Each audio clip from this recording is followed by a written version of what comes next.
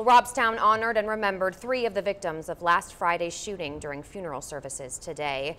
There were services at the Robstown High School auditorium for 40-year-old Roel Mireles, 60-year-old Thelma Montalvo, and 13-year-old Isaiah Starry. All three were laid to rest today at Memorial Park. Our thoughts and prayers go out to their friends and families and, of course, loved ones.